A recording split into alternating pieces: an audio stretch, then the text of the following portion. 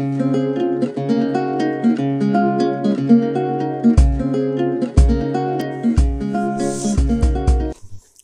Friends, स्वागत है आपका आपके अपने यूट्यूब चैनल पर। तो आज का वीडियो स्टार्ट करने से पहले यदि आप चैनल पर नए हो तो प्लीज़ चैनल को सब्सक्राइब कर दीजिए। वीडियो को लाइक कर देना अगर आपको अच्छा लगता है और अपने सभी फ्रेंड्स में वीडियो को शेयर कर देना।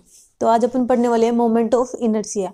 कि मोमेंट ऑफ़ इनर्सिया क्या होता है उसके बारे में डिस्कस करेंगे उसके कुछ हम्म, कुछ डायग्राम होंगे उन डायग्राम के बेस पे अपन मोमेंट ऑफ़ इनर्सिया निकालेंगे। तो सबसे पहले बात कर लेते हैं कि मोमेंट ऑफ़ इनर्सिया होता क्या है या फिर वो जो जड़त्व गुण है वो क्या होता है। अब देखो किसी भी पार्टिकल का मोमेंट ऑफ़ इनर्सिया कैसे निकाला जाता है?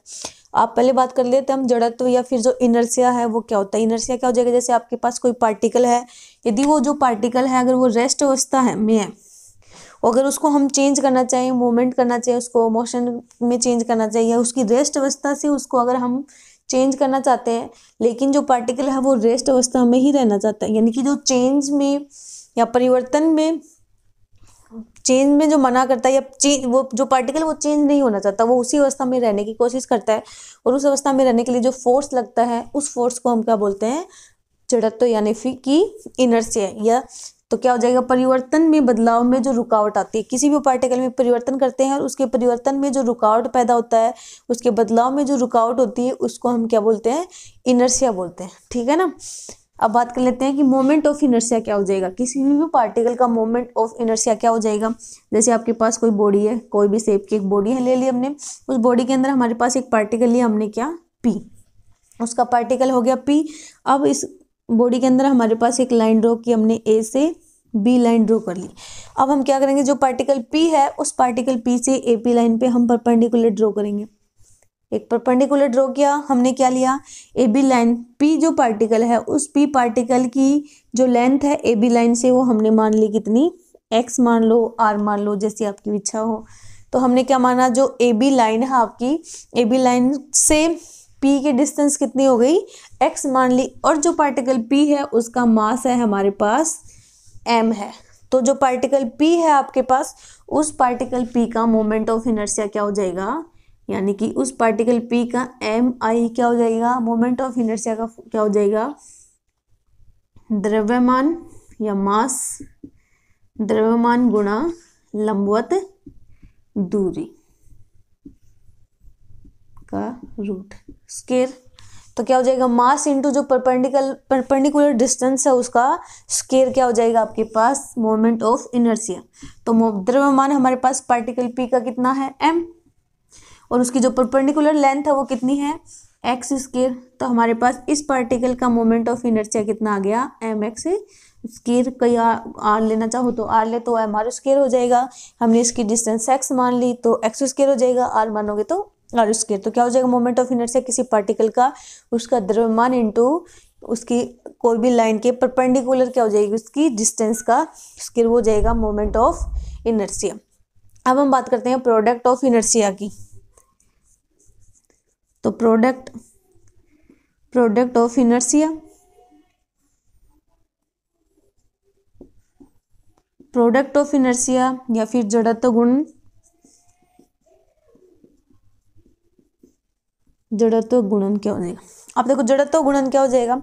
जैसे हमने एक्स एक्सिस या वाई एक्सिस ठीक है, उस पर एक पार्टिकल लिया हमने पी उस पार्टिकल पी के कोऑर्डिनेट है हमारे पास क्या? एक्स एंड वाई और उसी पार्टिकल का मास कितना है हमारे पास?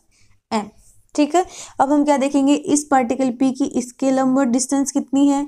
और इसके लंबवत इसकी डिस्टेंस कितनी है? तो इसके लंबवत इसकी डिस्टेंस हो जाएगी एक्स और इसके लंबवत इसकी डिस्टेंस हो जाएगी वाई ये हो गई एक्स एंड ये वाई अब हमें देखना है कि इस पार्टिकल का गुणन क्या हो जाएगा। इस पार्टिकल का जो हम निकालेंगे प्रोडक्ट ऑफ़ इनर्सिया इसका प्रोडक्ट ऑफ़ इनर्सिया हो जाएगा मास इनटू इन दोनों की लंबवत दूरी। जो प्रोडक्ट ऑफ़ इनर्सिया है, वो दो एक्सिस के बीच में निकलता है, एक में नहीं निकलेगा। ठीक है ना? तो जो गुणन करेंगे हम, वो क्या हो जाएगा? उस प्रोडक्ट उस पार्टिकल का मास इनटू क्या हो जाएगी? उस पार्टिकल की एक्स एक्स की लंबत दूरी एंड वाई एक्सिस के लंबत दूरी का प्रोडक्ट या उनका गुणा करना। तो वो हो जाएगा आपका प्रोडक्ट ऑफ़ इनर्सिया ऐसे ही ऐसे ही moment of inertia and product of inertia हो गया। अब हम देखते हैं, अगर जैसे अभी ये देखो, हमने इसका तो एक पार्टिकल का निकाला। अगर हमें खूब सारे पार्टिकल का अगर निकालना होता, क्या? मोमेंट ऑफ़ इनर्सिया निकालना होता, एक से ज़्यादा पार्टिकल का।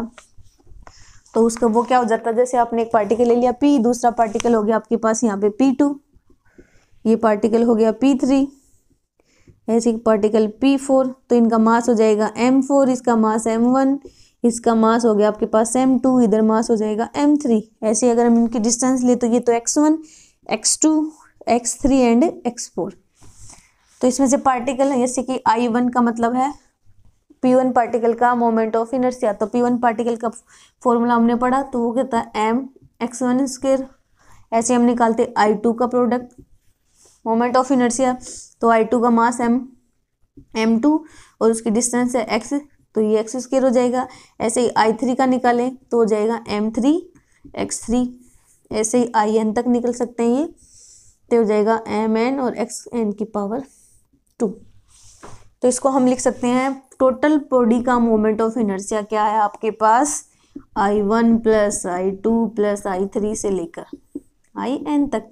इन सबको जोड़ दोगे तो ये हो जाएगा एम वन एक्स वन की power R two M two X two की टू से लेकर एम एन एक्स एन की पावर टू तो ये हो जाएगा समेशन लिमिट आई की है वन से एन इसको हम लिख सकते हैं M I and X I की पावर ये हो जाएगा एक से अधिक प्रोडक्ट के लिए हम निकाल सकते हैं मोमेंट ऑफ़ इनर्सिया अगर आपके पास एक से ज़्यादा, क्या हो पार्टिकल हो तो उनका मोमेंट ऑफ़ इनर्सिया ऐसे निकल जाएगा। अब हम देखते हैं आर्टिकल अब पहला आर्टिकल आपका क्या कहता है?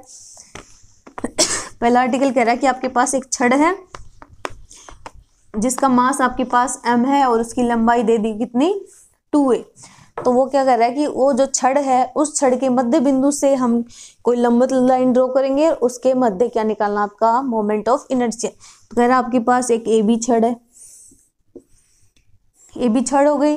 अब इस ए बी छड़ की लेंथ आपके पास है टू ए ठीक है? अब वो कह रहा है कि इसका मध्य बिंदु ले लिया हमने ओ कोई ओ मध्य बिंदु है, उस मध्य बिंदु से हमें क्या निकालना उसका? मोमेंट ऑफ़ इनर्सिया तो हमने मान लिया ये हमारी एल लाइन है। ठीक है?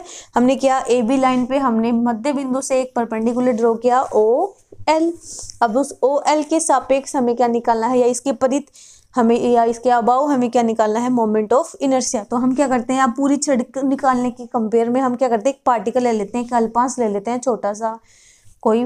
तो हमने कल्पांस ले लिया पी एंड क्यू अगर इस एल्पांस जो पी क्यू एल्पांस लिया हमने, इस पी क्यू एल्पांस या पी क्यू जो एक छोटा सा टुकड़ा ले लिया इसका, उसका अगर हम मोमेंट ऑफ़ इनर्सिया निकाल लें, फिर उसका इंटीग्रेशन कर दें बाय लिमिट से तो हम क्या निकाल सकते हैं? इस पूरी छड़ जो है, उस पूरी छड़ का मोमेंट ऑफ़ इनर्सिया निकाल दें।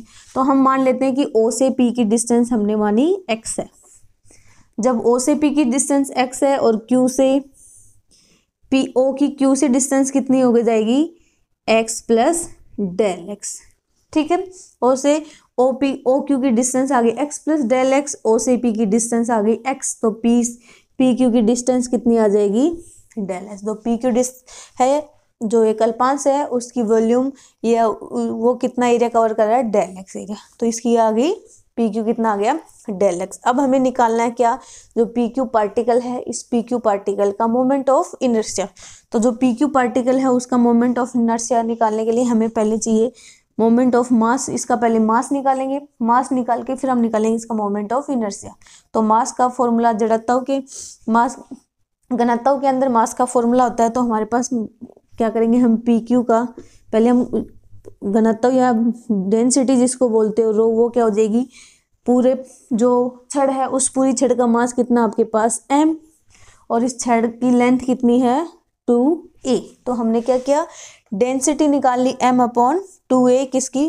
पी क्यू पूरी छड़ के अकॉर्डिंग हमने इसकी डेंसिटी निकाली यानी कि पूरी छड़ का मास कितना था आपके पास? एम और इसकी लेंथ कितनी थी?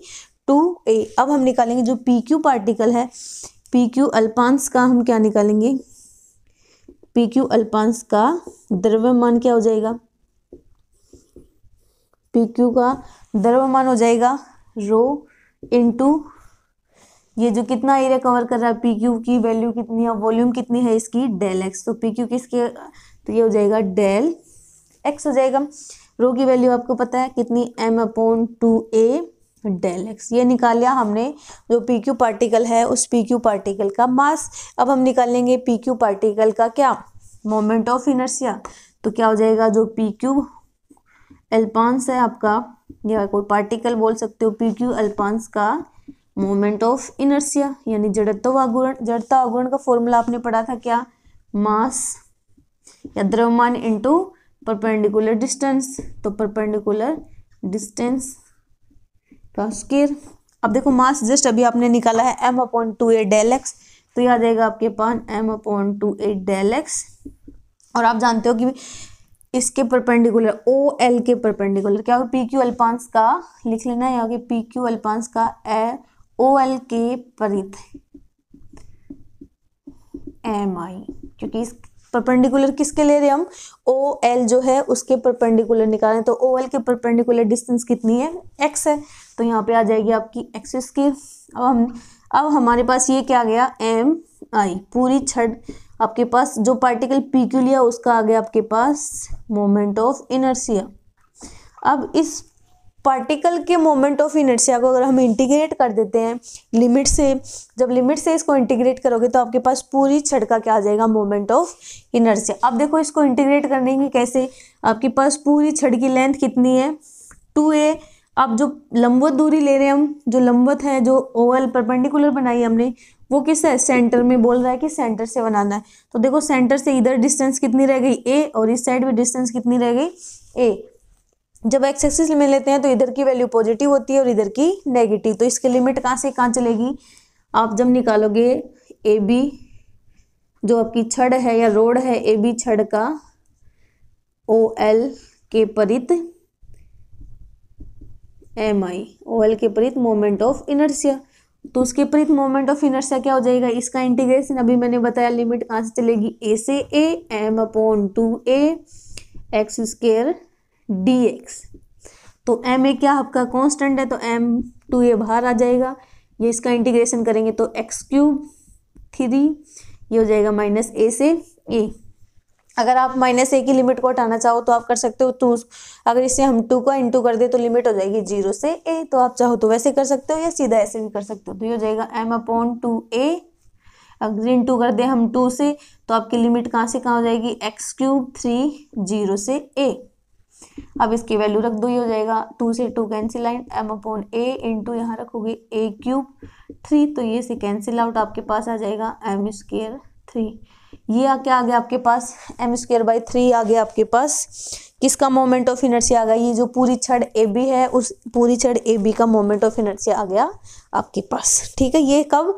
जब किसी भी छड़ के अंदर आप सेंटर से क्या निकालोगे? उसका मोमेंट ऑफ़ इनर्सिया सेंटर के लंबवत कोई लाइन ड्रॉ करी है, उसके लंबवत हम क्या निकालते हैं? मोमेंट ऑफ़ इनर्सिया तो ये आ जाएगा। चलो थैंक यू अगर वीडियो आपको अच्छा लगा तो please like share and comment कर देना अगर किसी भी टॉपिक पे वीडियो चाहिए तो और अपने सभी फ्रेंड्स में वीडियो को शेयर कर देना। Thank you